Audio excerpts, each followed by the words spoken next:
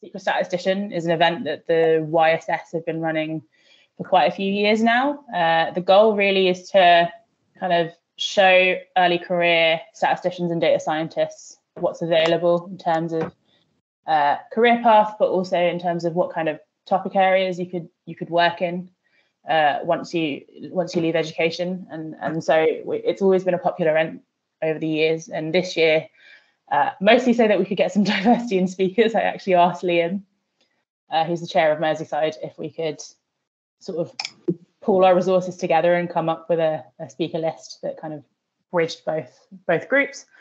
So um, without further ado, uh, we'll go into the to the speakers. The speakers will speak for like maybe 10 to 15 minutes each on their individual career journeys, and then at the end, because the event is an hour and a half, we'll do sort of a 20 to 30 minute panel. So if you have any questions, pop them in the chat as we go along, but also we we can have questions at that section too. Uh, so our first speaker is Catherine from National Museums Liverpool. Uh, Catherine, do you want to share your slides and then we can get going? Hi, I'm Catherine and I'm the Preventive Conservator at National Museums Liverpool. And so this is just a quick overview here of the topics that I'll cover today and hopefully highlight where data and statistics play an important role in my job. So I did, sorry, um, my undergraduate degree in history at the University of Kent, and here my dissertation focused on the role of museums and memorialisation of World War One. And while in my second and third years, I volunteered at with the curatorial team at Dover Castle, learning about caring for our collections there and the, their documentation. After graduating, I did an assistant merchandiser internship at George um, at ASDA. And I gained lots of skills here, although I realised that this kind of office environment wasn't really for me. And I left after four months to pursue something a bit more closely related to my degree. Um, and then I worked at front of house in visitor operations at Ashby-de-la-Zouch Castle, which is here pictured on the left. Um, this was a, in a really small group. Uh, there's a team of three of us, so I undertook many different roles here, um, including things like cash handling and stock rotation, this type of thing. And then from 2012 to 2018, I was a collections care assistant uh, for English Heritage in the Southeast and North London regions. And this really increased my knowledge of caring for a really wide variety of collections in many different historic spaces. Um, and on the right here, you can see this is cleaning in front of the public um, whilst open at Kenwood House in North London. In September 2018, I moved to Cardiff to undertake my MSc conservation practice. And this was more focused on objects or bench conservation. And this was to diversify my skills um, due to the pandemic, my dissertation changed from being lab based to one based on the environmental data from past students' work at the SS Great Britain, which is a ship in Bristol. And then May 2021, I moved north to National Museums Liverpool in the project conservation and decant officer role, um, while a large heating system project was undertaken um, at the same time that we also had a very tight exhibition schedule and a lot of conservation treatment that needed to happen. So this involved really communicating a lot of environmental data um, to non-specialists, as well as working out the risks to the collections from that data. And then from January 2022 to current day, I've been the preventive conservator at National Museums Liverpool. So, what is preventive conservation? It's defined by the International Council of Museums as all measures and, and actions aimed at avoiding and minimising future deterioration or loss. And it's sometimes also referred to as collections care. Like many organisations at National Museums Liverpool, we use the 10 agents of deterioration framework to categorise risks to collections, and that's pictured here around the urn. And these are physical forces, dissociation, incorrect temperature and relative humidity, light and UV, pollutants, pests, water, fire, and crime. Some of these are really immediate and catastrophic, like fire, and others are more cumulative, more like pollutants. At National Museums Liverpool, everyone here plays a part in caring for for our collections, but to differing degrees. Um, sorry. Um, formed in 1986, NML is a group of museums and galleries across Merseyside with collections of around 4 million objects on display in public venues and in store. Um, preventive conservation sits in the collections care department, which you can see on the far left here of the diagram. And we work to embed the preventive conservation strategy with colleagues through advice and training. Um, a typical day for me starts with checking emails and then environment the environmental monitoring software, which I'll talk a bit more about later. I normally check the charts are up to date and possibly have to reset the software. And then I'll scan two or three sites um, for any anomalies to their data over that last week um, and action anything urgent. There are three technicians in my team, so I always catch up with them on the day to day work as well as future plans and their professional development. Um, I also attend meetings, and these can be a mixture of exhibitions planning and monitoring or core collections care work with colleagues from my department, as well as external stakeholders. And then we also do core collections care work, which can be invi- advising colleagues, writing procedures, or working on site delivering training. As the preventive conservator, one of my main responsibilities is for the environmental monitoring system. It's made up of Eltek sensors as the hardware in the galleries, storerooms, and conservation studios, as well as the Darca Heritage software. And we use about 350 sensors that predominantly monitor temperature and humidity. You can see these are depicted on the left hand side of the diagram um, on the slide, and they transmit data every five minutes to the data logger on site, which is also known as the squirrel, and this in turn transmits that data the, to the network server. We use this data for monitoring conditions for NML collections and for reporting back on loans from other organisations. Um, our current challenges here have included making choices about upgrading that server, as our current one is not going to be supported, and then to help support this work, we have a team of environmental venue reps at each site, and they undertake those weekly checks and some of the on site tasks as well. Um, as I said, some of the challenges here have also been that we've got quite highish staff turnover, and therefore training has been interesting to kind of um, adapt to the hybrid working environment as well. Um, as well as the hardware and software, there are like transmitter sheet with documentation document wait a second the location on. And so verifying the different elements of this system and auditing them has been one of my bigger challenges as well over the past 12 months. Um, so far that's included just moving everything into one workbook so we can trace the different sensors between sites um, and clean up some of the the data there and see actually what we have so another form of data that we collect is our environmental monitoring of light. So we have less of these sensors and they are detecting light and ultraviolet and they help provide cumulative data on the exposure levels and duration of this to our objects, especially those that we class as highly sensitive. And we can use this data to inform our conversations and decisions about duration of display and also to keep an eye on whether control measures are working. For example, we don't need ultraviolet light to see, but it's incredibly damaging to many objects, and therefore we can cut this out using shutters or film on windows but that does need replacing. Alongside the cumulative data, we also take spot checks, which you can see Isabella taking here on the right hand side. And this normally happens before we open an exhibition, for instance. Um, as well as the visual checks of the charts, we this software, the Eltek software and Darca is used to create the statistics reports, which are used to report on our key performance indicators annually to the Board of Trustees and help us track progress. The first one that was developed was for relative humidity and is scored as a percentage of time that the space is given is within the given parameters. For many of our spaces, this is 40 to 60% RH, and our aim is to improve all these scores with to with 80% of the time in parameters deemed acceptable. Um, we also look at the data quality coming through from those transmitters, and if there's a low number of transmissions, then we reduce the score to 25% and we look at solutions to improve this as well. On the right hand side of the slide uh, is the top sheet of the action plan that we use in our annual preventive conservation surgeries.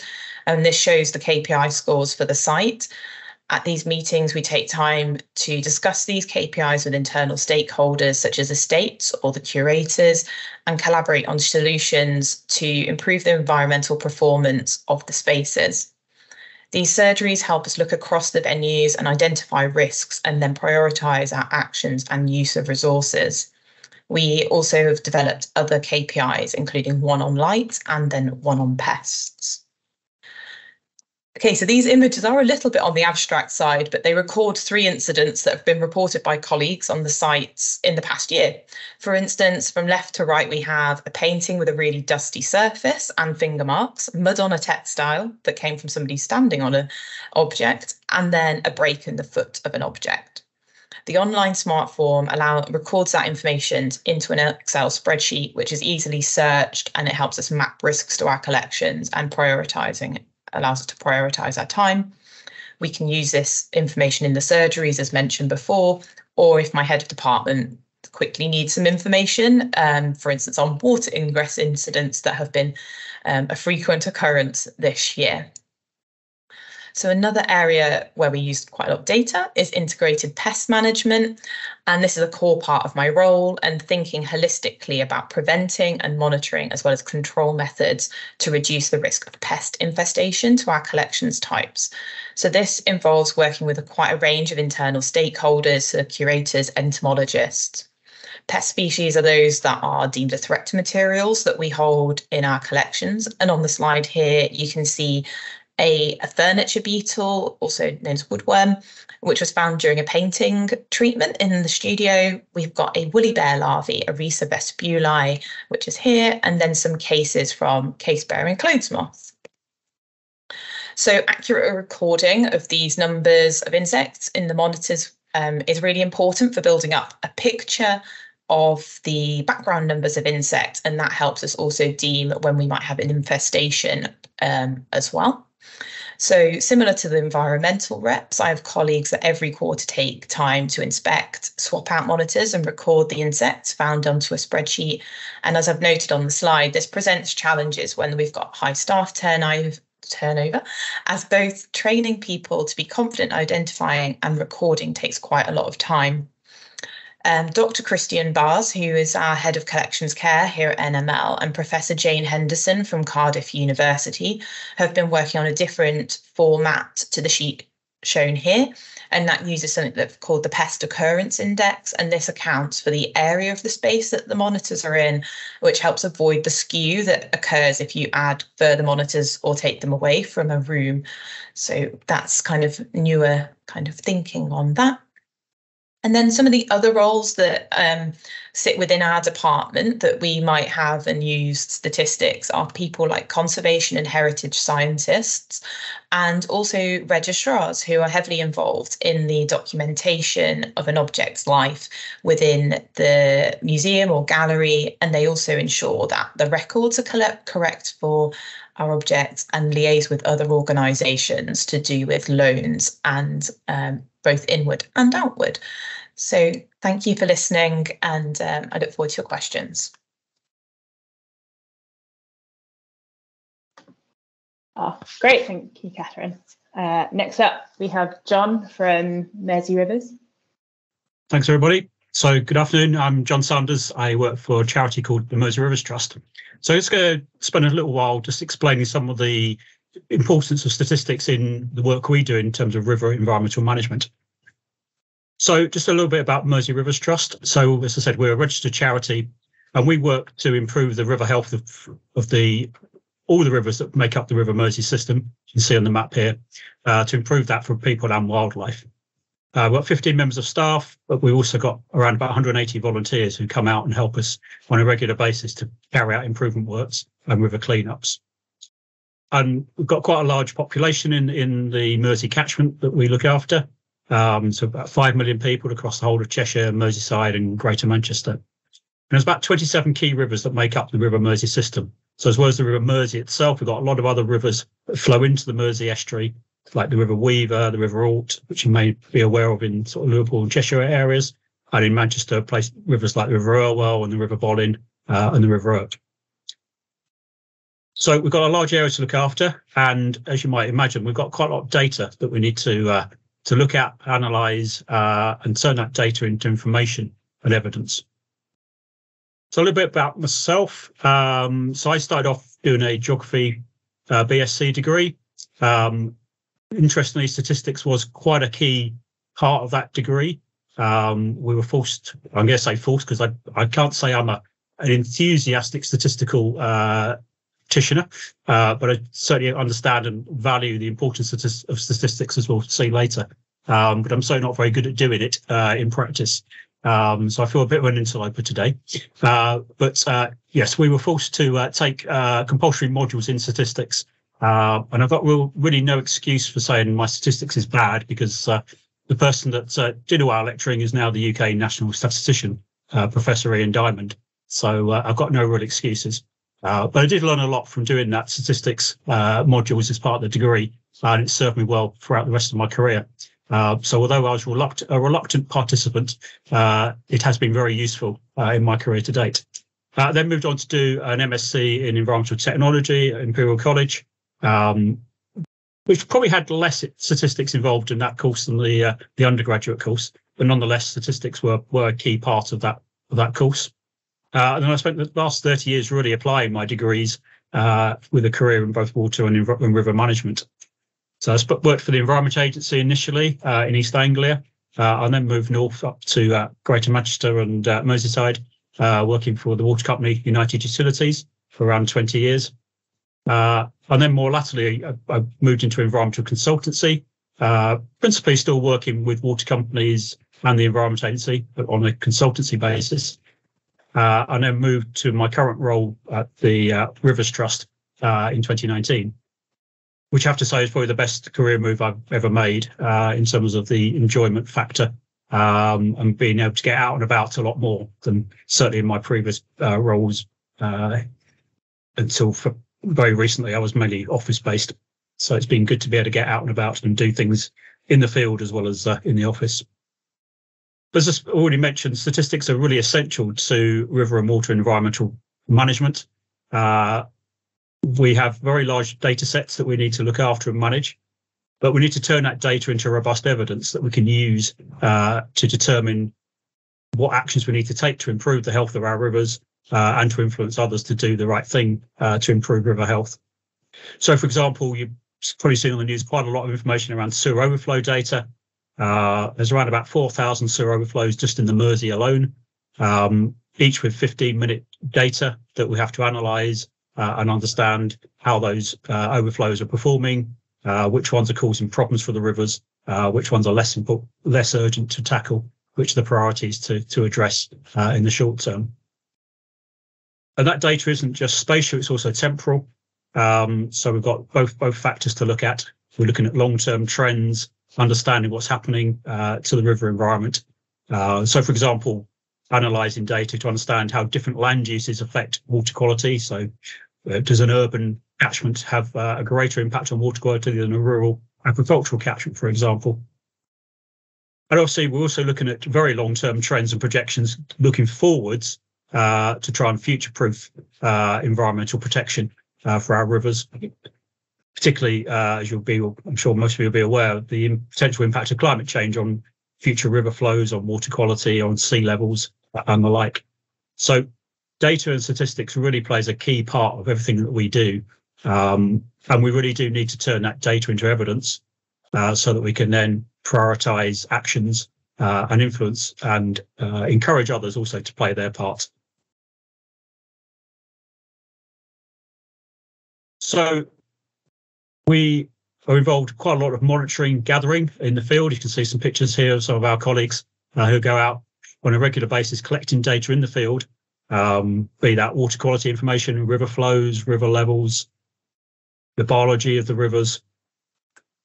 And we also then need to gather that data and collate it. Uh, we've got a number of uh, GIS based databases that we collate all our data uh, to help us both manage the data initially and then obviously to do the subsequent data analysis. And it's not just us doing this work. Uh, back to the volunteers I mentioned earlier, we've got an army of uh, citizen science volunteers who very kindly give up their time um, to help us collect that data and carry out what we call citizen science monitoring and data gathering. Uh, so we provide training to volunteers to go out uh, and take take readings and measurements on our behalf uh, to upload those uh, to our data systems, uh, and then we will do the analysis. But also, it's very important that we present back to our volunteers uh, what we're finding, what their data is telling us, to encourage them to continue collecting that data for us. So, if anyone is interested in being a volunteer for us, please do get in contact, and we'd be very happy to try and find some monitoring for you to carry out for us on our behalf. So I just thought just bring uh, the use of statistics a bit more to life uh, using an example of one of our projects that we've got uh, underway currently in the uh, Liverpool area, and that's our plastic-free Mersey program. Uh, so this is a uh, collaborative project with a range of partners, um, including industries that manufacture plastics, industries that deal with the waste from plastics. Um, we're also working with Liverpool City Region, we're working with the, the mayor of uh, Liverpool City Region, Steve Rotheram, who you can see in the picture on the top left, uh, who came out and did some litter picking with us uh, last year, uh, with Merseyside Waste and Recycling Authority, uh, and with local authorities like Liverpool City Council. And again, this is a volunteer uh, based project. You can see some of our citizen science volunteers in the bottom here, who we've trained to carry out surveys of plastic pollution along all the rivers that make up the River Mersey, as you saw from that map earlier. And as you can see on the picture on the right hand side, unfortunately, plastic litter in the Mersey catchment is a major problem. Although water quality generally is improving in the River Mersey uh, over the last 20, 30 years, uh, the, the, amount of plastic that's in our rivers, unfortunately, is increasing. Um, but until we started this project, we had no real way of gauging uh, what the scale of that uh, problem was, the spatial uh, resolution of that, of that impact, um, and whether things were getting better or worse. Uh, and we really wanted to collect some real hard evidence and data uh, using uh, citizen science volunteers to go out and do regular monthly surveys uh, to understand what's going on. So you can see here the survey method is around taking a section of river. Uh, it's a 60 meter squared section, and we do two sections per site uh, for volunteers to go out and they register all the different types of plastic that they can find uh, using an app on the, the Survey 123 app, uh, which is freely available uh, to, to, download a survey app. And that all the data they collect uh, automatically goes into our uh, ArcGIS database system, uh, a mapping system, so we can automatically upload the data so it can be readily analysed. We've currently got around 20 different sites, as you can see on the map in the top left, where volunteers go out on once a month to take to, to undertake the surveys, uh, categorize all the litter they find, both plastic and non-plastic, so we can understand the relative difference between the amount of plastic versus paper, metal, glass, uh, fabrics, and other things that might be found in the river that shouldn't be there. So we trained about 33 volunteers, citizen scientists to date, uh, around about 204 surveys completed so far over 20 sites. Uh, you see there we've categorized nearly 7,000 items of litter uh, over the last 12 months. So that's quite a bit of data already for us to look at and analyze. So I will very much say this is not my work uh, moving forward. These next few slides is kindly been done by our colleague Hannah Smith, our sister charity Thames 21, who's helped us do all the statistical data analysis of the data we've collected. So many thanks to Hannah for, for doing all this. Um, so we've, we've done some simple analysis to start with to understand the, the general makeup of the litter we're finding, uh, what's the average? What's the mean? You can see this, the 95% confidence limits shown on this data. But certainly plastic food packaging, sanitary items, uh, which includes things like wet wipes uh, and cigarette butts, interestingly, uh, come top of the top of the pile in terms of the, the litter items that we find. But we've also done some more, what I would, to my mind, is more complex statistics. Um, and hopefully some of you will, will be far more familiar with these tests uh, than myself uh, to try and understand a bit more and, and drill into the data in more detail. So we've tried to look at the number of litter items to see if it if is it is it consistent across all sites. Uh, and statistically, there is there is a difference uh, between the amount of litter we're finding at different sites, as you can see in the chart on the left. Um, and we've also used the uh, post hoc Dunn test uh, to understand uh, which litter items uh, are being found more regularly at different sites using a pairwise comparison approach. So we're just trying to understand whether different rivers have got different types of litter being being found, or as well as the total volume of litter being found. We've also looked at whether there's more litter on sites where bins are present or not present. Um, and again, the, the, the, statistics we've carried out have indicated there is a statistically significant difference.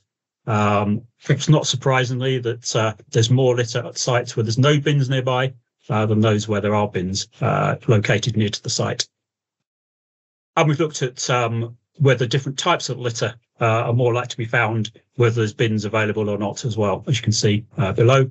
Although the statistical tests we've done so far uh, has suggested that difference uh, is not material. We've also looked to see whether um, the amount of litter relates to where fly tipping has been uh, identified by our volunteers. But again, uh, that's one of the areas that has has indicated there's more litter statistically where fly tipping is uh, has been carried out nearby. It's not unsurprisingly again. Uh, we've also looked at the relationship between littering and rainfall and river levels. Um, and perhaps more surprisingly, we found there is no strong correlation or relationship between uh, rainfall over the last 20, 48 hours or river levels uh, and the amount of litter we find, which is was surprising to us because we know that rivers act as a conveyor belt of litter. So once litter gets into a river, it can move very quickly from, say, Manchester to Liverpool in a couple of days. Uh, and some of the litter we find in Liverpool uh, has definitely not been dropped in Liverpool. It's probably been dropped in Manchester or Warrington or somewhere else upstream because uh, the rivers are a very com- effective conveyor of litter. So why is it important? Um, it's great to do with statistics, understand what's going on, but actually what do we need to do with this evidence that we're gathering? Uh, and a very good example of this is we've been working uh, with Thames 21 charity and other rivers trusts uh, with a with an MP called Fleur Anderson. Uh, you can see here on the on the slide, and she has been the key MP who's promoting a ban on the use of plastic in wet wipes uh, moving forward, which has nearly got to a point now where the government is about to uh, bring that into law. There's a con- consultation currently uh, taking place with the public uh, to confirm that approach, but that's been based on the evidence that we found from our volunteers and volunteers on the River Thames going out, collecting that data and evidence, analysing it robustly with, with good, uh, robust statistics, bringing that two members of parliament, uh, getting a par- parliamentarian to promote a bill, uh, to work with the government through through the Department for Environment, Food and Rural Affairs, uh, and ultimately getting the government to back the bill uh, and enshrine it in legislation. So these things are important, but the importance of robust statistics uh, cannot be underemphasized. Uh, it's really important we have that evidence. Lawmakers will not make decisions on introducing new legislation uh, without some really strong, robust evidence to back it up. Uh, so it's been very valuable in having the statistical information as well as obviously the data in the first place uh, from our volunteers. So as well as talking to parliamentarians, we also want to make sure we disseminate information around uh, all of our work uh, to the public. so to some extent, we have to then uh, come back to a more simplified version of, of, all the statistical analysis that we carry out uh, and present information in a way that's that's meaningful uh, to the majority of the pop- population who perhaps do not have a, a strong statistical background or knowledge. Um, so we use things like these dashboards on our uh, website uh, to try and convey that information in a in a very relatively simple but uh, hopefully direct way to members of the public. And we also try and communicate via the media both social media and TV and, and radio. And I guess just one thing for, for perhaps uh, those of you who've not started your careers yet, uh, there will come a time, I suspect, in your career where you'll need to convey information that may be fairly complex statistically, but you've only got two minutes on a radio radio show with no visual aids. So it can be quite a challenge to to uh, convey what I've just been talking about over the last 15 minutes uh, into a two minute snapshot uh, with no visual aids to back it up. Uh, so that is something to definitely uh, think about some of the for those of you who may be interested in being a communicator of statistics as well as a practitioner of, of doing the calculations. So finally, uh, say a big thanks to Hannah Smith at Thames 21 uh, for carrying out all the statistics you've seen in this presentation, uh, and equally importantly to our citizen science volunteers who've been out in all weathers over the last 12 months collecting the data. Okay, thank you very much. Thank you, John. Uh, next up, we have Lucy from BT. Hi there. Um, just going to share my screen. I hope that's visible. Yeah. Yeah. Okay. Cool. All right. Great. Thank you. Thanks, Rushdie. Um, okay. Uh, hi, everybody. Um, yeah, I'm uh, Lucy Gullen, and I am uh, an AI and modelling research specialist at BT. Um, if you haven't heard of BT, then uh, it just stands for British Telecom, and we're the biggest uh, telecommunications provider in the UK. Um, and basically enabling you to do things like, you know, stream TV shows in your home, providing broadband, um, make phone calls, you know, use your mobile, etc. So um, we're all about communications and connecting people, basically. Um, let me start off by telling you a little bit about how I got to this position in my career, and then I'll tell you a little bit about my day-to-day uh, working life. So, um, the first thing I want to talk to you about is uh, yeah, starting out. So, I had an interest in statistics from quite a, a young age. Um, during my A levels, I took A level statistics, and I was really lucky because I had this amazing statistics teacher. Um, I feel like we learned statistics through osmosis almost. Um, we basically he spoke to us about all different things, hardly anything about statistics. And I felt like we all came out with some kind of weird knowledge of statistics from that because he was very example driven. So, for example, during that class, we like wrote Smarties, we did some hypothesis tests on whether the blue Smartie was underrepresented in the pack and things like that. So, we did a lot of really fun activities um, and really active um, kind of learning to get us to get to grips with the basics of statistics and the building blocks that were there. Um, so I already thought statistics were pretty cool before I went on to do a maths degree. Um, and one of the things that stuck with me from that kind of education, that early education, was uh, and he, that he drilled into us. There was how statistics is powerful, so it can be used uh, for really well, um, or it can actually be misused. And and um, it's really important to be questioning, uh, like the types of statistics that you see in the media and on online every day, even more importantly recently, um, and where they're coming from. So I have a cat with me today. She's probably going to jump up a few times. Um, so yeah, so that's it. I started out. I really enjoyed statistics, and then when I went to um, university at Lancaster University, I studied mathematics, um, and I took um, a lot of modules to do with statistics because of that. And I also did a research internship uh, during my second year uh, that basically helped me to decide do I want to do research, um, i.e., do I want to do a PhD um, and, and continue my studies, or do I want to kind of go straight into the world of work? And the research internship really showed me um, that independent uh, work was possible. I hadn't thought of it uh, prior to that. I thought that it would be really difficult to go off and study a, a subject and really get to the nitty gritty of things and try and progress it. Uh, that would be really hard beforehand, but quickly found out that research is actually just really small progressions uh, over time. There's very rarely a light bulb moment where you completely U-turn um, a whole topic um, from from nowhere. So um, it felt possible because of that research internship, and I did that at um, a place called STOR-i, which is where Shrishti did her PhD as well. Um, which is basically a centre where they um, interface statistics with operational research techniques um, and um, which are basically like mathematical problem solving techniques like optimization and simulation. Um, and uh, you kind of do PhDs based on that there. So, so once I'd finished my degree, it felt natural to go back to the place I'd done my research internship and do a PhD there. Um, and I was really, really lucky um, to get a, a, PhD project that sat right on the interface of statistics and OR, or operational research. Uh, so I was basically looking at um, how to quantify uncertainty in simulation. So simulation is a, a tool, um, an operational research tool used to kind of simulate um, um, a system that you're interested in. Maybe it's a factory, maybe it's a, um, an A&E department or something like that. and you use that to do what if analysis. So what if I add another bed to my A&E department? What will that do to my waiting times and things like that? So that's kind of, I was looking at how can I quantify error or uncertainty in that type of uh, tool so that it makes it a better tool and you've got a better understanding of what can go wrong when you're making decisions using it. Um, and I was paired with Northwestern University during that time. So I flew out to Northwestern a few times and I flew to international conferences and um, I'm going to make it sound magical, but I'm sure a lot of you are doing PhDs in here and know how hard work it is as well. Um, but they were just the, the plus points of, uh, of doing that. Um, so overall, an incredible experience, even though it was really hard.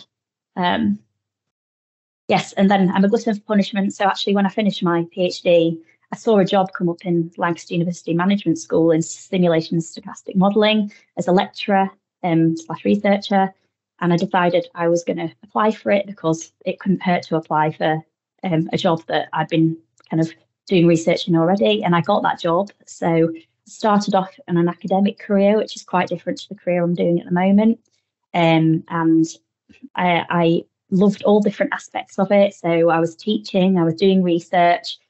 There's quite a lot of admin. Um, but yes, uh, after a few years, I realised I was doing a lot of theoretical and methodological work, but I wasn't actually connected with the kind of people that were using simulation as a tool. So um, I wanted to go out and actually learn about how simulation works in the real world, how complex it can be for actually representing real world systems. Um, so because I thought that might have a, an influence on maybe my research direction in future. So after a couple of years in academia, I applied for a job at BT and um, I got that. And now I'm a research specialist there um, and I work on all sorts of different operational research and statistical problems. Um, and I get to use my statistical background slash simulation background quite a lot, which is really useful to me and hopefully them. Um, but I also learn new things all the time, and uh, telecommunications is so complex that um, often we have to come up with quite new research ideas, and we're always kind of pushing forward research. And so it really is a nice place to work because I get a lot of free reign in terms of uh, research time as well as um, almost like consultancy based projects, um, which um, I'll talk about kind of now. So, um, yeah, working at BT, I kind of split my time uh, on a day to day basis between long and short term projects. So we have, um, we're, I'm in a area of BT called Applied Research, and we interact with lots of different units of BT that are customer facing. So um, that might be security units, or it might be like the, the people that actually run the BT network, or it might be OpenReach or th- things like that. So we speak to all of them and they come to us with problems and we try and help them with our analytical skills to overcome the kind of problems that they might see. So, for example, um, modelling household bandwidth usage has been um, kind of a, an ongoing um, on off short term project um, where we created a a large model of um, how people actually interact with devices in their home and how that consumes uh, bandwidth. Um, and therefore, we can ask questions about that. So I'm going to go into that a tiny bit more detail next. But on in terms of like longer term projects and more research based projects, we've also been looking at things like um, self learning algorithms um, to try and create autonomous systems that can can run themselves basically. So that's where multi-arm bandits, which if you haven't heard of it before, um, they're a kind of a tool that's used to make um, decisions over time, where you have um, you kind of see a repeated decision that comes in over and over again. So that might be um, I have a customer that's just come into my website. What kind of um, advert do I show them, or what kind of uh, screen do I show them um, the first? Or it might be somebody's just called up BT because they've got a fault on their line uh, what action should I take next? Should I send an engineer immediately or should I try and turn the line off and on again? That kind of um, decision based problem that you would repeatedly see. Because by repeatedly seeing it, you've got time to learn what the optimal decision is over time. So, so that's a longer term project um, that we've been looking at, and we're working with different customer facing units to try and implement at BT. Okay, but I'm going to tell you a little bit more about um, modeling household bandwidth usage. Um, not too much because I know we're tight on time. So um, basically, if you think about the devices that you use in your home, um, they all do or don't use bandwidth. So watching television, streaming services does use bandwidth, um, and all sorts of different activities. Maybe you're you're gaming and things like that as well. Um, we can model or build a model of you going about those activities um, through through the week and put that all together into a, a model of how different households look um, and also combine that with information on what types of products people have, what types of line they have going into their home. And all of that comes together within this bandwidth model, which is just um, a type of simulation model called an agent based model. And that's because it's driven by um, from the bottom up, from small agents, i.e., devices, up to people, up to households. And we generate total bandwidth consumption for a number of households in, that way. Um, and we build this model um, by looking at inputs like, you know, your socioeconomic makeup of households, um, what we know about people's line types going into households, and then things also like um, how often we expect you to be watching television and when or what times a day we expect you to be watching television, etc. Um, and all of that data externally comes into us, into our model, and then we validate it by looking at, oh, does that match the viewing patterns or the bandwidth consumption patterns we actually see across the core network. So once we have this validated model, um, we can use that to ask all sorts of different questions. For example, if we can make um, future forecasts of how we believe people will consume their bandwidth in future, we can try and see if our network as it stands will withhold the pressure of what's coming in the future. Um, it can also help us with like marketing and product development. So we don't want to actually uh, market a product that would actually put a lot of stress upon our network should everyone choose to purchase it in the future. Um, and also, um, one of the key things we've been doing recently is actually considering network energy consumption. So, could we um, kind of adaptively turn our cabinets, which control um, how much bandwidth the households receive um, up and down um, and therefore save energy across our network because BT uses a lot of energy. I think it's something like 0.7% of the UK energy um, in total. So if we can start to save energy at you know house um, not household level but um, across our network in different areas, then that would actually have a huge impact on the um, energy consumption of the company. Yeah, so it's those types of what if questions that we would try and answer with this type of simulation model. Um, yeah, I think that was everything I was going to say. Just a little glimpse into the uses of uh, uh, simulation and the stuff I do at BT. Okay, thank you. Thanks, Lucy. Next up, we have Mehdi from the Civil Service Stream. Hello, everyone. Yep, I'm Mehdi. I uh, work at the Civil Service and I'm currently on the Civil Service Fast Stream.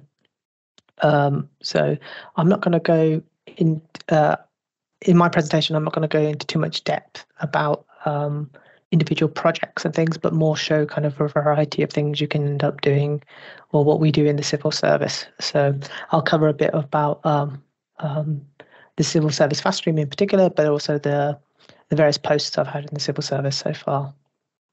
So uh, I completed my master's in physics with theoretical physics from the University of Nottingham in 2015. I then started a astronomy PhD at the University of Nottingham, but unfortunately I uh, uh, became quite unwell and so I had to leave that program. And so I wanted to pursue a career which combined lots of um, kind of opportunities to do a variety of different technical things and interesting um, kind of um, analytical bits of work, but also gave me the flexibility of um, um, plenty of flexibility given my health concerns. So I, I, joined the civil service and specifically the the fast stream, which is a graduate scheme um, to try and accelerate people to uh, a of, uh, a senior level within the civil service. So I've done four posts so far, and I'm in my uh, currently in my final post. So about uh, analysis in government. So there's quite a lot of analysts in government. Um, there's about 17,000, most of which are um, members of the um, government statistical service. That doesn't necessarily mean they're trained statisticians, but it means that they work with statistics regularly.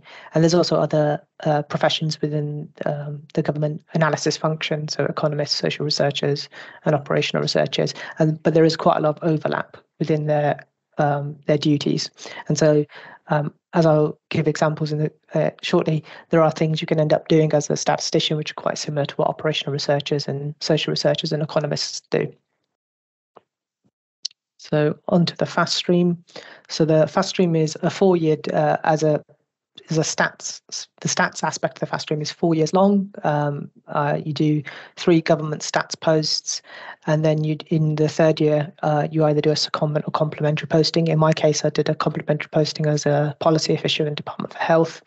And like i mentioned the idea is to end uh, to enter a, a relatively moderate um, grade and then finish ready at a, a quite senior grade so you're ready to kind of lead a team. And throughout it, you're meant to be developing all, all your key statistical skills. So that's acquiring data, data analysis, and communicating an analysis to both a technical audience and a non technical audience, um, but also your general uh, kind of career behaviors. So, how to communicate with uh, colleagues, how to work with a team, working at pace, making big decisions with a short amount of time, things like that. And then the, the main thing being uh, leadership. So my first role was a, as a migration and benefits statistician in the Department for Work and Pensions, and so that was mostly working on two uh, publications. One which is relate uh, using national insurance registrations as a proxy for migration and as a look uh, for the um, uh, as an estimate as, of the migrant working population in the UK, and the other was uh, benefit uh, looking at benefit recipients um, by nationality. And so, in, in, in terms of kind of statistical skills, that was focused mostly on communicating statistics to the public in a really clear, concise way, while at the same time making sure they understood the granularity of that all that information, and in particular that rich data set we had of people's nationalities, but also the numbers of people you're dealing with, millions of people.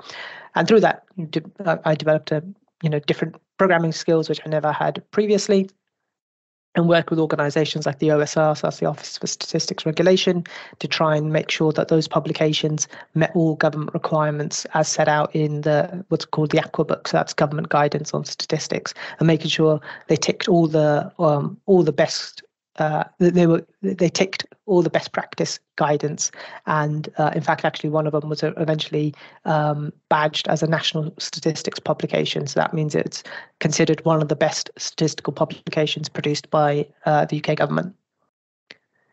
I then worked as a, a environmental statistician in uh, Scottish government, uh, which was a very different, which had some similarities. So there was again an aspect of producing statistics to communicate stats to the public. So that was related to um, uh, the Scottish government environmental strategy, uh, as well as waste disposal statistics in Scotland. So looking at that, looking at trends in terms of waste produced by different local authorities in Scotland and things like that. Uh, but then I did some uh, quite interesting work, which was very different from what I did previously. So that was things relating to uh, Scottish Government's targets towards peatland restoration for the purposes of absorbing carbon from the atmosphere. And that involved building lots of models to try and predict, um, to check how feasible those targets are and try and find the best, um, the optimal re- route to restore peatland to meet those targets within the costing and time, um, the time constraints. I worked with local regional uh, uh, uh with regional local regional land use partnerships. So that's bodies of local authorities which are focusing on um, optimizing the use of local land to help Scottish government reach its environmental targets. So that's uh, kind of biodiversity targets, but also carbon sequestration. And that work that involved learning lots of new skills, learning R, um, learning uh, how to do geospatial data analysis, that through GIS, and then lots of uh, working with the local authorities directly. Uh, and then uh, one of the big things that I did within Scottish Government and something I'm really proud of is um, starting uh, the integrated digital data program they have up there. So that's uh, co- combining data across all of Scotland, so not just within Scottish Government, but local authorities, charities, arms length bodies, research bodies, universities and putting all that information together. And that's a multi-year project. I was involved. Well, I was only involved at the setup, uh, but that's a multi-year project still ongoing. Uh, so within that my role in Scottish Government, there was a lot of different statistical techniques I had to learn, lots of data analysis, building, uh, uh, understanding uh, data quality, combining data sets together, um, doing things I've never done, to, such as like geos, uh, working with geospatial data and stuff like that. But then those skills I already had, which was uh, communicating, uh, going back to one of the big roles in government, which is communicating stats to the public and informing decision making by senior officials and ministers. And then my current role is working as a, a, assistant trade statistician in the Department for Business and Trade. So again, there's uh, uh, well, this seems to be a common theme: uh, producing stats. Uh, in this case, it's producing stats for UK trade and investment. So that's one of the key um, outputs of the Department for Business and Trade. Um, so if you go on the government website, uh, and one of the big things I did in that was uh, moving it from a, a manually produced publication to something produced via reproducible analytical pipeline. So in that case, um, the commentary within that uh, that publication changes depending on uh, the variables going in. So it doesn't require someone to manually type out the trends and stuff like that. It goes through, does the um, after the analysis is done, the commentary automatically updates, and so it requires minimum input from a person. And from a from a quality assurance point of view, it means there's a lot fewer mistakes. Uh, within this role, also, I've had a lot more uh, uh, in, uh, hands-on experience, as it were, talking to ministers and senior statisticians. So there was lots of writing briefings. So in that case, slightly less technical work, but it was taking technical analysis or um, taking uh, data, simplifying it, and being able to communicate to ministers, and therefore influencing decision making at the you know at the top of government. Uh, one of the big roles I've had uh, also this year uh, in this post was uh, relating to um, um, working with junior statisticians as well. So being at the closer end at the end of the fast stream, mentoring and working with junior statisticians, and that involved kind of upskilling uh, junior statisticians through giving lots of seminars and things like that. But also let me stretch my own statistical skills by doing uh, survey work. Um, so building uh, satisfaction surveys and then using that to influence um, how uh, how statistics is done, or at least statistics is trained, uh, how junior statisticians are trained in different departments and how they, their um, learning and development evolves with time. So that involved uh, kind of learning how to build surveys from scratch, working really closely with social researchers and learning about that, learning best practice and stuff like that, which was really interesting. And then um, doing you know traditional statistical techniques to seeing uh, to to analyze the responses. So um, you know your typical t-tests and over things like that. Um, the other really nice thing about working within the civil service is that there's a huge opportunity to learn a lot of different things, even if it's not directly related to your to your day-to-day work. So in my case, I've done a lot of work recently learning about gravity models and Bayesian statistics and machine learning, things which don't directly impact my the roles I've had so far in my current role, but will allow me to to work uh, well, hopefully in the future, as uh, different as I move across my career, uh, allow me to to use the skills I've developed here and uh, implement them there. So uh, there's a brief overview of all the variety of different statistical things and and uh, my career uh, so far in the uh, civil service. Uh, so so thanks very much, and yeah, I look forward to everyone's questions at the end. Thank you for that. the last speaker that we have is Ian from the University of Liverpool. Hello, everybody. Yes, yeah, so just to introduce myself first, I'm, I'm, a professor of analytics at the University of Liverpool.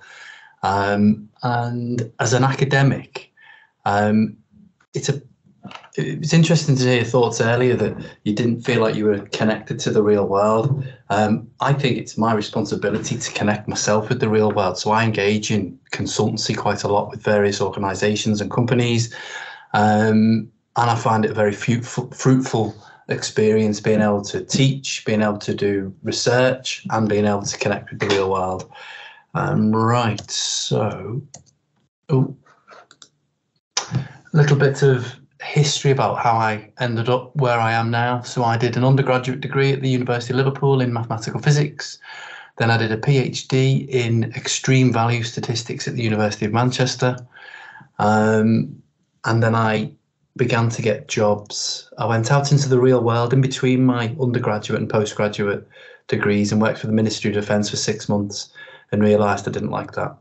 Um, I then did my PhD. Then after my PhD, I worked as an investment analyst for six months and realised I didn't like that. Um, and at that point, I realised I did like learning and I did like research, um, and that if, it was possible, I'd want to do that for indefinitely. Um, and I think that's what academia enables you to be able to do.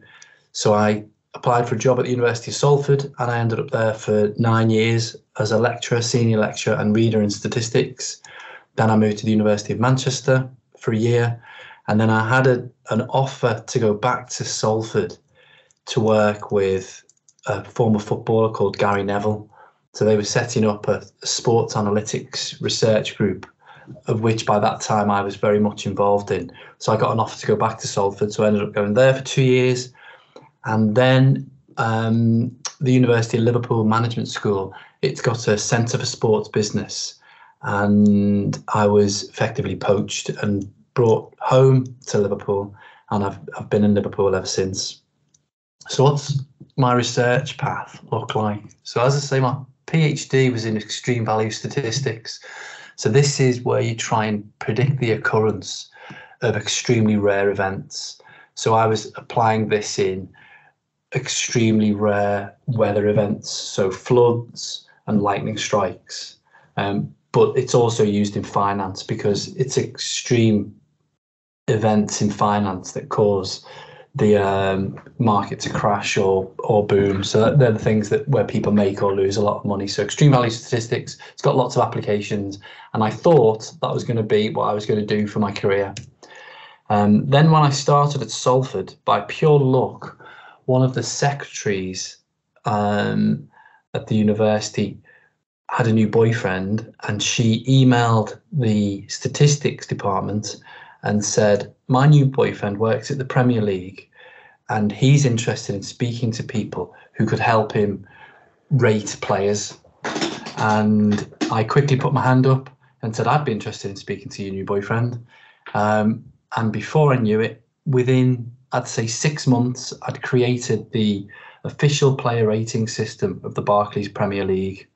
Um, I'd forgotten extreme value statistics existed, and from that moment on, I was involved in sports analytics. It wasn't by design, it was pure luck.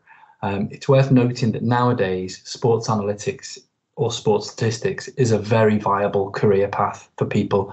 Sports teams and organizations know statistics is extremely valuable to them. You only need to think about the Moneyball story, um, which is where a Major League Baseball team performed well above expectations relative to their spend using statistics to help them recruit players. So now, as a sports analytics person, I've got two feathers to my bow. I'd say. Um, first thing I started doing was forecasting the results of sports events. So think about forecasting the result of a football match. How would you go about it? Um, the second um, area of expertise I've got is how to rate and rank players in individual sports or in team sports. So in individual sports, it's a bit easier, for example, to try and work out who the best tennis player is. But in team sports, it's not simple at all to work out who the best footballer is because there's very complex dynamics as players interact with teammates and with opposition players. So I'll give you an, two examples of of where I use statistics in my job now. Um, it's quite interesting to think about your own career to give a talk like this. And I realize I think I've built my entire career out of the Poisson distribution. So I I really like the Poisson distribution. It describes the distribution of goals in a football match, and you can create a bivariate Poisson distribution, which simultaneously describes the distribution of home goals and away goals. You can add dependency between these two distributions to come up with more complicated distributions. But fundamentally, my entire career has been built off knowing and using the Poisson distribution. Um, and there are two examples I'm going to talk about. The first is detecting match fixing in football, which is something that I've done with FIFA and UEFA. Uh, and the second application is estimating the impact of player changes in football teams. I'm not going to go into technical details, so I'll just describe what these things end up looking like. So this is a bit of consultancy work that I did for Manchester United a few years ago. So this was done in April 2021. Um, at this moment in time, Manchester United are second in the Premier League and they think they've solved their post Alex Ferguson worries. Um, for those who don't know, Manchester United were historically a very, very good team. Then their manager, Alex Ferguson, retired, and they have since suffered um, poor performance, really, relative to their spend. So something's going wrong at Manchester United. Um, but in this particular season, they were second in the league, and they thought they were well on the way to recovery and becoming a, a, a power of English football again.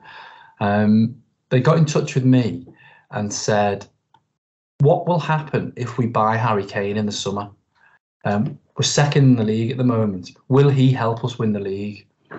Um, and then I used my expertise in forecasting. So I've got a forecasting model for football, which is based on the players on the pitch. So if the players are good on the pitch on your team, and the players on the opposition team are less good, your probability of winning is probably higher. And then if you add even better players to your team, like Harry Kane, you'd expect your probability of winning to go up even more. So that's on a match by match basis. You can work this out. So what I do is I simulate the entire season. So all 38 matches for all 20 teams, I simulate the results of them based on the players on the pitch. And there's you need to use algorithms to simulate which players are actually selected by managers and which players are available because of injuries and so on. But these are minor details. So the punchline is that you can simulate a league season for a given set of players in a given league. On the left here of this diagram, we've got the predictions for the 2021-22 season for Manchester United.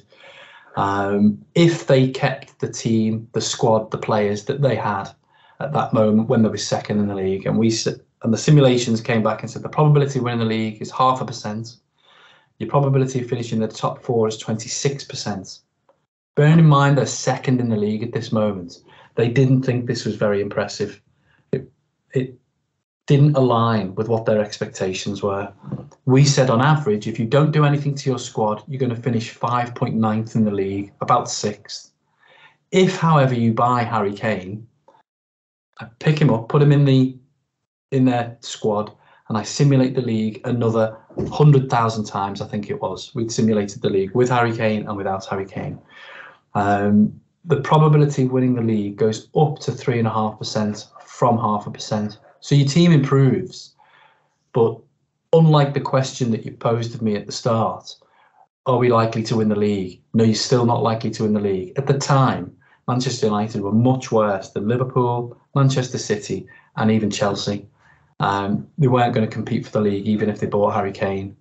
Their probability of finishing in the top four um, goes from 26% to 62%, which is a big increase. And the nice thing about these simulations, because they're player based, you've picked Harry Kane up and taken him from his current team and put him in the new team, Manchester United.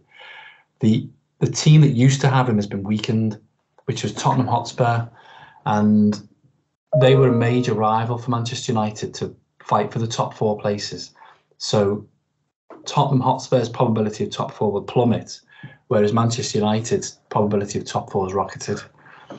With Harry Kane, we expected their league position to be about fourth, which has gone up from sixth, which is a huge increase, really. Two league places for one player is a is a big increase. Um, but interestingly, this didn't align whatsoever with Manchester United's preconceptions of where they were. Where do you think they finished in the season? They actually did finish sixth in the end. They they bought Ronaldo and it all went a bit a bit wrong. But this shows you how you can use quite advanced statistical models underlying this presentation to address real world problems that are of interest to to to, to me as well, let alone the, the people who are paying for the paying for the work. The second um, example of statistics that I use in my day-to-day life is that of detecting match fixing. So this is going to be quite hard to explain in the time I've got. So I might do a bad job of this, but I'll try anyway. The we can build in-play models. So as a football match progresses, you can build a model that says the probability of team one winning is 40%. Then as time ticks along, the probability will change. So what you see here is minute naught to minute, can't see it, 90. Um, and effectively, these are the odds or probabilities on a different scale, one over the probabilities of a team winning or an event happening. The event in this case is the total number of goals. So early on in the match, there's a betting market called the the total over 2.25 goals. Don't worry about what the 2.25 means. It means you can bet on whether there'll be more than two goals in the game. And the probabilities from the market odds, which are the non yellow, dark yellow dots, are aligned very nicely with the model odds. I'm explaining this really badly. Let me start again. Model odds are shown in yellow, so they're underneath these market odds in an efficient market, the model odds and the market odds should be about the same. And you can see that in this match, which is not a fixed match, the two align very closely. As the market moves, a model, which based on the Poisson distribution, um, move together. So this is a not suspicious match. There's nothing odd going on in the betting market. Whereas this match there is something odd going on in the betting market. And you can see towards the end of the match, the market odds shown as I'll go to this purple bit here between 55th minute and 70th minute are diverging away from what the model is saying. So this market is for there to be more than five goals. At the moment, there's been one, two, three, four goals. That's what these grey vertical lines are. And as time runs out, you'd expect the probability of there being more than five goals, given that there's only been four goals, to be decreasing, i.e., the odds will be inc- will be lengthening. So the, the model is behaving intuitively. However, the market is saying that the probability or the well the odds are shortening so the probability is increasing that there'll be more than five goals even though time is running out for those goals to happen um, what's happening is people who fix the match putting a lot of money on the market for over five goals and to protect themselves bookmakers move the odds um, and this is a suspicious match and in the end it was proven to be fixed um, so UEFA and then FIFA, and they go and try and find out who these criminals are and who the players or referee responsible for setting this fixing process were. Now I'll flick on from that. Um, I thought I'd offer some lessons and thoughts from my career that might help people. Lesson one, I moved on from things I didn't like doing pretty quickly. I did make a few mistakes in my career. I didn't like being an investment analyst but you can make really good money at it, but it wasn't for me. Um, it's already been mentioned. Do not underestimate the value of being able to communicate, um, although I failed miserably to do it on the last slide, um, and being able to present your results visually. It's it's an extremely useful thing to be able to do. Um, if you want to do research, for example, in academia, I'd say imagination is at least as important as technical skill if you've not got imagination, i.e., you can't come up with lots and lots of ideas for research papers or research projects, you might run out of ideas. And you don't want to do that as an academic because you're under pressure to come up with new research projects all the time. Um, if you want to be paid more or rise the ranks in your organization, be prepared to become more than just a technical statistician. Um, you will need to manage projects at some point. Um, I really do enjoy learning. Um, statistics is not a field that is staying the same. There's forever new methodologies being born and being brought out. Machine learning, artificial intelligence. I feel like as a statistician, we've been stung a little bit because we've now got to learn the, an entire new field of machine learning, which didn't exist certainly when I well, it existed, but it wasn't taught when I was at university. Um, inevitably, as your career progresses, you will go from being somebody who does all the coding, does all the analysis, to somebody who talks about the analysis and tells people what to do. It's still really important to understand what you're doing. Um, in the early part of my career, I said yes to almost everything, certainly to meetings to discuss possible projects and opportunities. Um, you never know what's going to come out of a, of a of a meeting that might seem like it's not worth going to. Um, so yeah, so there there's some tips. I won't bother going through that. I've not got time. Um,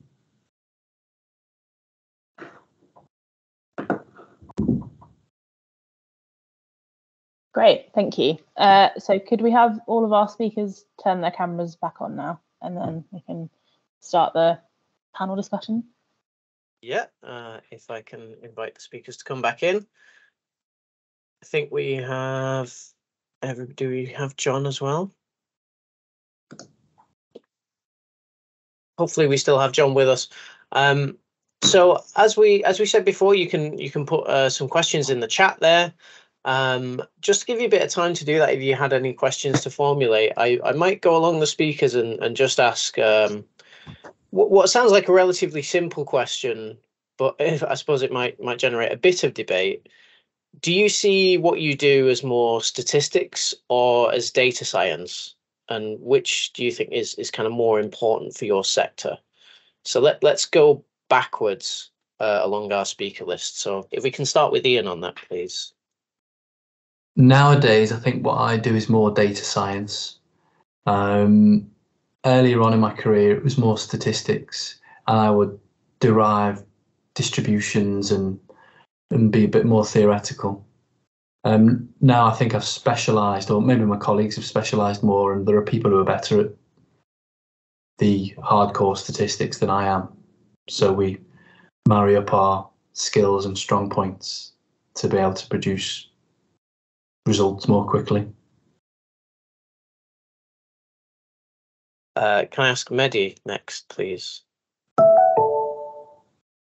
Yep, sure thing. Uh, Yeah, I, I would probably say I do more data science nowadays. Um, um, but I think uh, that's my personal kind of career journey. But I think in the civil service as a whole, um, there's an increased focus on data science. But when it comes to statistics, uh, like I mentioned, there's so many people involved in stats that actually, um, and it's such a blurry, blurry line between statisticians, operational researchers, social researchers these days.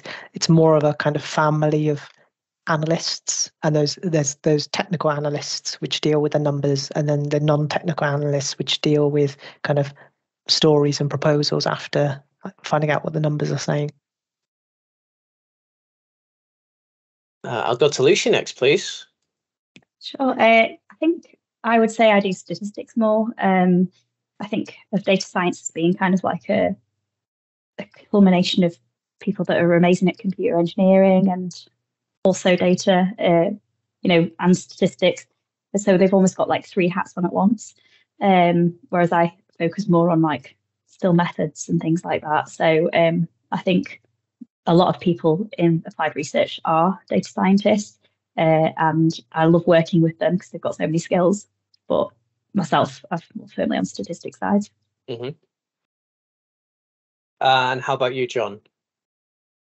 Yeah, I think we'd probably say that our team is probably more data science, but obviously, Mercy statistics is just a, an element of data science. So it's, it's, it's one of the key cornerstones, but uh, it sits within a, a data science framework, really. Uh, and finally, I'll go to Catherine. As a very big non-specialist, I'd say data science, but um, probably a little bit of both.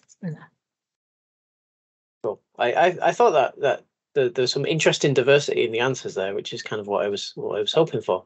Um, so I can see we've got a, f- a few questions in the chat. There's there's one here to start with, um, which is specifically for Mehdi, but I might kind of open it up afterwards to talk a little bit about how um, suppose how, how postgraduate degrees affect the trajectory of careers in your area. So Anna has asked if if a master's degree is needed for the fast stream, or if if you can just enter it with a with a bachelor's degree, Mehdi. Yep, you can come in just with a bachelor's, so no master's needed. Um, in general, in the civil service, just to just to highlight the benefit of a master's is uh, quite a lot of departments have a uh, an extra pay uplift if you have more experience. Uh, so if you come in with a if you come in as a an analyst in the general civil service with a master's or a PhD, then you'll get this pay uplift. Uh, but yeah, for the fast stream specifically, bachelor's is more than good enough. Okay, fantastic. And uh, is there any any of our other speakers got any kind of views on the difference that a, a master's or, or other kind of postgraduate degree might make?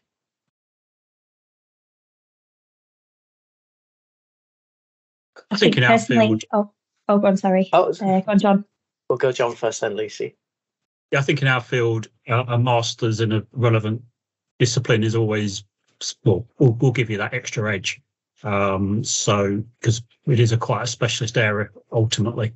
So uh, yeah, masters is is you would usually uh, give you a greater chance of success in terms of recruitment, uh, but it's not essential.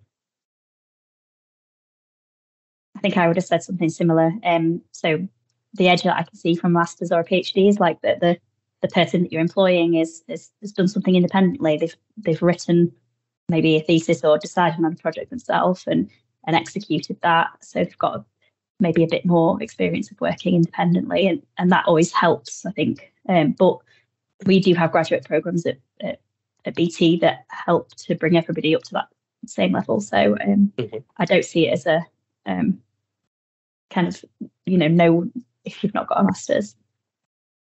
Yeah, that, that's great to hear though, because I, I I am aware that there's you know there are some industries that don't really understand or recognize the value of masters and PhDs. So um, I mean, it's good to hear that's not the case for some of these options for statisticians. Uh, I'm going to go next to a question from uh, Nathan. So, uh, is there any of our speakers that are able to share an insight into how data science can or should be used in software testing disciplines? I don't know who might be most similar to software testing here. Possibly you, Lucy. Yeah, I, I'm not 100% sure what he means by software testing, so possibly not. Um, unfortunately, Okay. Um, it might not be so much a question for our speakers here, but um, I'm just thinking there are a few. So, so within the Royal Statistical Society, obviously we're hosting this through the Young Statistician section. There are other specialist sections for different areas, including computational statistics um, and also data science and AI.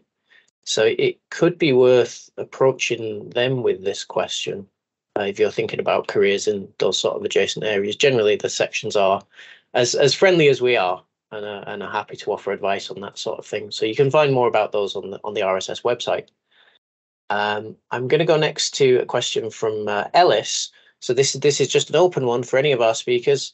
Uh, what do you think are the challenges for starting a career as a statistician?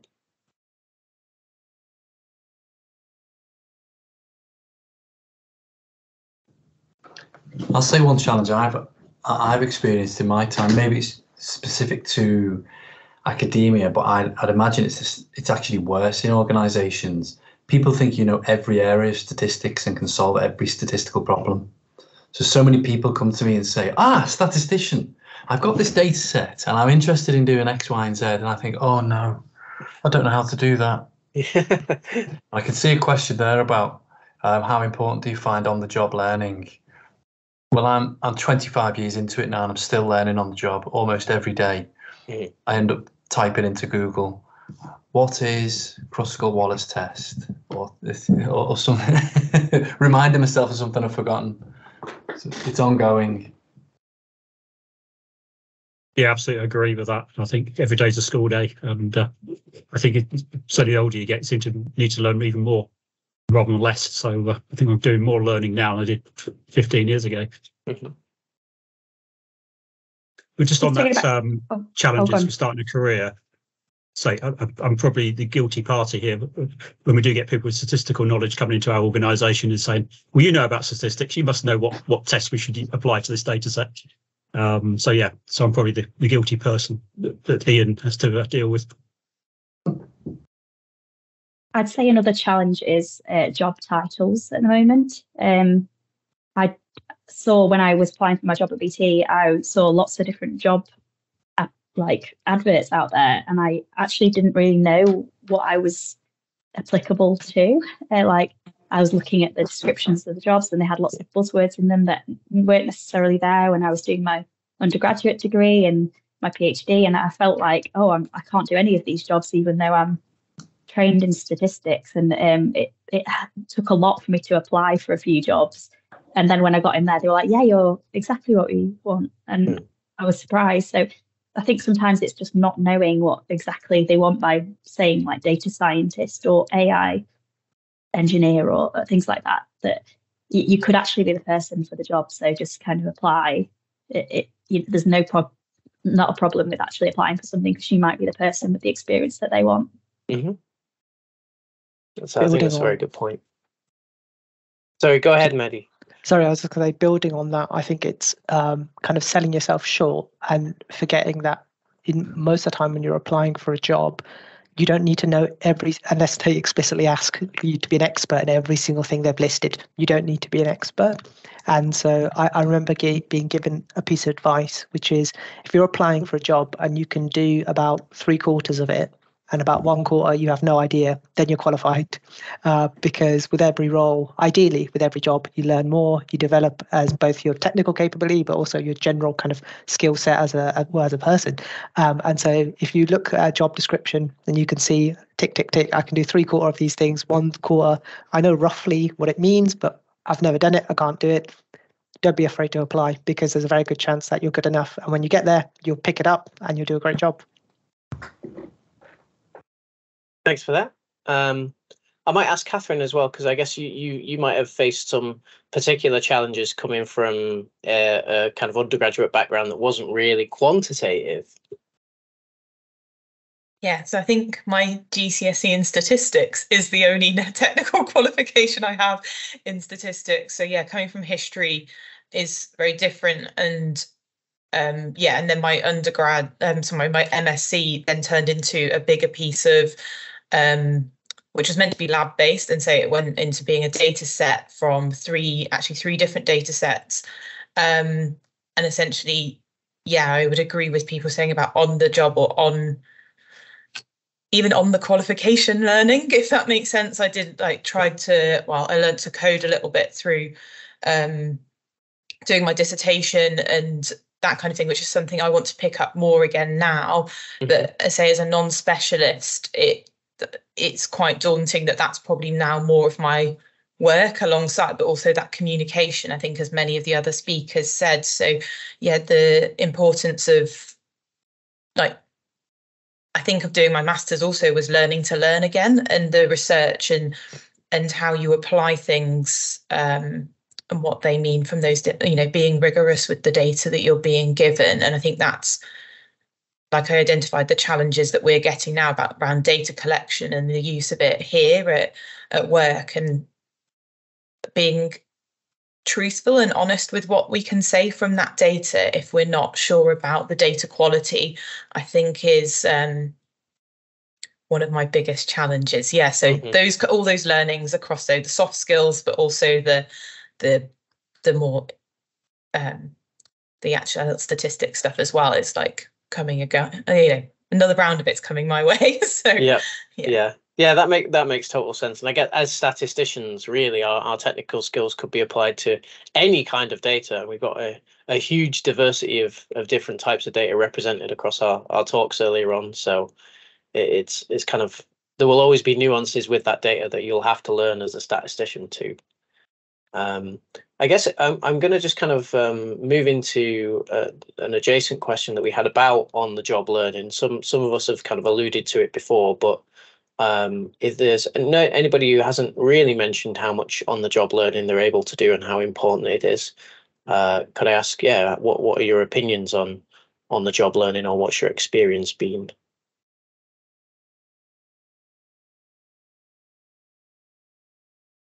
I think um, I'd agree with what's been said before. Um, learning every day, um, new projects and new uh, kind of methods are coming out all the time. So um, it seems like you are learning all the time, and BT have got really good connections with universities. So there's like routes to learning about uh, new methods through that. And I always find it is one of the best parts of my roles to work with like um, students and uh, learn from them basically what is the best new thing to do or um, can I think about this differently? Um, you tell me that kind of approach. Mm-hmm. John, go ahead. Yeah, I think it's not. It's not just about on the job specifically. It's also obviously things like you know the professional societies and all the seminars, webinars, conferences that they run. It's a very good way of getting up to up to date, learning new new techniques or, or new principles or whatever it may be. Um, so definitely joining a relevant society or or uh, institution that uh, helps with professional development, then uh, that's uh, often the, one of the best ways to, to keep in keep up to date and learn mm-hmm. new stuff. Yeah, I mean, it, and it's worth saying, you know, it, the RSS it could well be one of those organisations. If if this is your first time engaging with us in one of our events, I would definitely recommend you you look up more about the RSS, particularly because you can get free uh, membership if you are a student. Um, so thanks for allowing me to just segue into that in there. Shameless um, plug though. yeah, absolutely. Um, and we got another question here about um, the, what kind of skills are missing from your line of work, which you wish more newcomers had. I suppose that that's in, in the colleagues and the people that you're working with in the, in terms of statistics. I think a confidence in verbal communications. Mm-hmm there are a lot of people who rely on email and text and they always say pick up the phone and speak to these people. Okay. And okay. People, people feel very reluctant to do that. There's, I think there's a, a, nervousness about speaking to someone face to face or over the phone. Uh, so if you get the opportunity to have to give presentations, to do verbal communications, not just written and email and text and social media communications, I think that's a, it's still a valuable uh, skill despite our modern technological uh, communications. Liam, I've got to go. I've got another meeting at half past two. Sure, sure. Thank, Thank you for joining, Ian. Bye bye. No worries. Take care now. Um, yeah, so we were talking about um, skills that uh, newcomers might might seem to be missing in in your sectors. I don't know if Mehdi, Lucy, Catherine, you have any perspectives on that? Yeah, I'm happy to jump in. I think um, speaking about the civil service specifically and, and the fast stream, I think a lot of people come in with a lot of technical knowledge, which is great. But then, and and, and actually um, being responsible for, uh, I'm, I'm responsible for quite a bit of recruitment these days. Um, it's it's those soft skills which people it kind of lets people down to a certain degree. So being able to communicate and remembering um, not only about how to communicate things clearly, um, and, and in particular to a non-technical audience. So in the case of government, that might be a minister or a policy person, but also mm-hmm. how to work with non-technical people. I think some people are so used to talking in a mathematical language or in a technical language with other people. And so if you're working on a project, and I, and, and I assume it's the same for the private sector or any other organization, it's not just going to be all analysts together, sitting together, coming up with a plan, and then they send it off. Some quite often there are people who implement those decisions, implement the actual operational delivery of things, you're all sitting together. And so you have to come up with a language which works for everyone so you can get the nuance of your analysis across. But without those people who actually go out and, well, in the case of government, serving the public, not sitting there dumbstruck trying to figure out, okay, exactly, okay, what exactly are we meant to do next?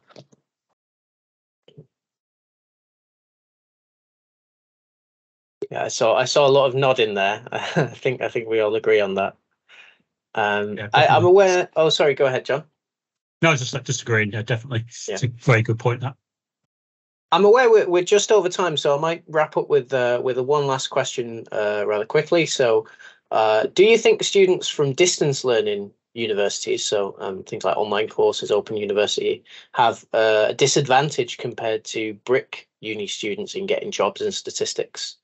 I suppose we touched a little bit on on communication there, but do you think there's any other kind of differences with uh, online learning graduates versus in-person learning graduates in, in your experiences? On behalf of the civil service, nope. as long as you've got the skills, we're happy to have you. Yeah, same for BT.